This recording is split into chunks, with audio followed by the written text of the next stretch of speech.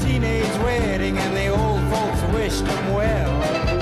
Pranzo di Pasqua made in Caffè Italiano, locale storico nel cuore di Firenze completamente rinnovato di recente, con la firma dello chef di Bibbona Jonathan D'Alessi, che inventa il primo raviolini ripieni di pappa al pomodoro, primo piatto molto leggero per lasciare spazio alla griglia. Ah, per Pasqua eh, facciamo una ricetta molto leggera, quindi a base di una pasta fresca fatta in casa, eh, un impasto di pappa, quindi preparando prima la pappa al pomodoro, la famosa pappa al pomodoro, eh, andiamo a fare il raviolino, lo scottiamo e mettiamo solo della ricotta di bufala dolce, non salata e un olio al basilico. Sfoglia sottile pappa che si scioglie in bocca, le uniche sottolineature dello chef. Sembra facile, sì, per lui. Deve essere una crema, eccolo.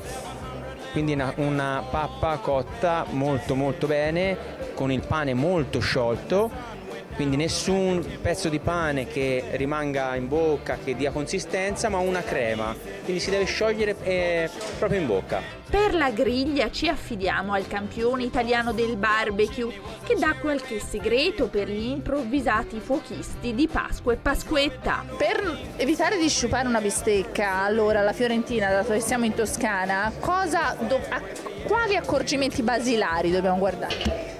Evitare di affettare la carne immediatamente fuori dalla griglia, bisogna lasciarla riposare per qualche minuto, deve una fase che si chiama rest, per ridistribuire i succhi e la temperatura all'interno della carne ed evitare che si perdano poi nel piatto. L'agnello si può cuocere dato che è classico pasquale? Assolutamente sì, assolutamente sì, le costine d'agnello sono un classico di Pasqua, eh, scottata veloce in diretta, vanno tenuti un po' più rosa di quanto si creda perché quando l'agnello poi cuoce troppo rimane un po' più duro.